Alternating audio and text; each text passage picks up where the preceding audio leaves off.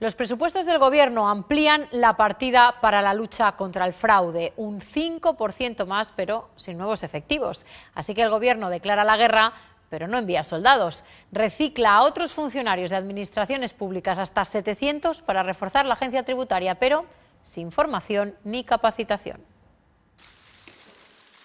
El gobierno saca pecho en la lucha contra el fraude. En 2015 habrá más dinero para perseguir a los defraudadores asciende a 996,64 millones de euros, un incremento del 5%.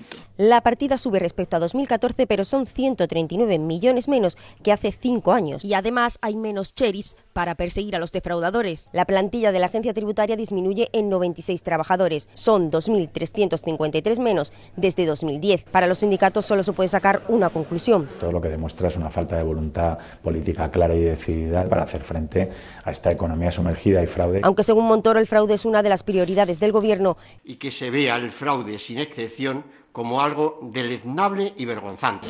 El refuerzo para Hacienda son 700 funcionarios de otros organismos, pero sin formación especializada.